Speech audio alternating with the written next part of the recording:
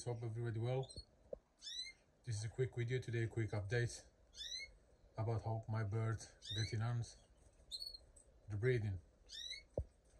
So what do we got here i've got mule and pair here. I've got raza 2023 here. And that's 2023 cock this is my mule and pairs I will wait another two weeks for this pair. That's my first pair here. I've got my Persian canaries here. That's a cock. That's a hen. She's on three eggs.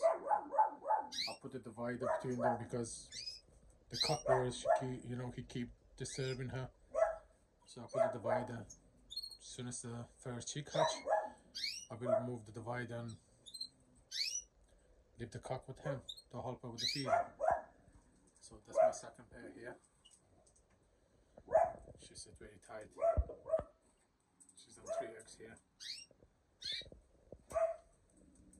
I've got the spare cock here. That's a spare cock. It's very fit. I've got my third pair here. Stafford Canary.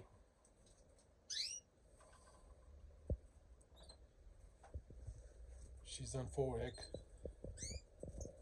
She's set really tight here. That's my third pair. That's a cock.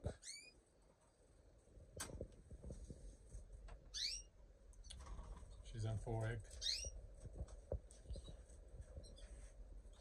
Got another pair here. I put the divider between them. The hen, she's not 100% ready yet. But I will remove the divider next week. She's done a little bit of nesting material here. Oh, she didn't build the nest yet. So I give them another week. I've got another pair here. I've got my Rosa Canaries here, my Rosa Canary pairs here. I like this cock. Beautiful color. That's a hen. And she started to build a nest before yesterday. But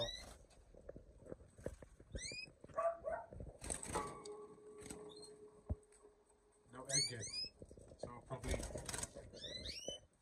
she will lay the egg tomorrow. Another pair here. I've got another two pair inside the house. I will show you those pairs as well. So this is my pairs. And I will go inside the house show those pairs as well. So this is my another pair here. My cock bird. My hen. She's very very good hen. She's on six egg really really tight. She just lived in us to drink some water and some seeds straight away back on the nest. One of my best pairs.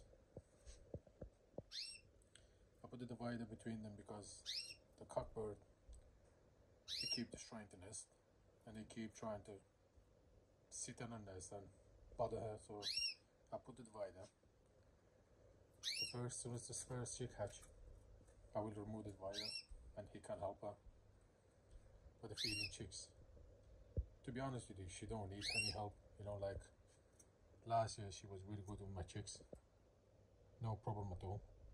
So, and today is day 10. Four more days, the chicks will be hatched.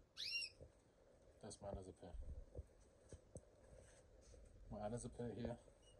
I got the cockbird in a different cage, separate cage. And I've got the hen, yellow mosaic. She's on four egg.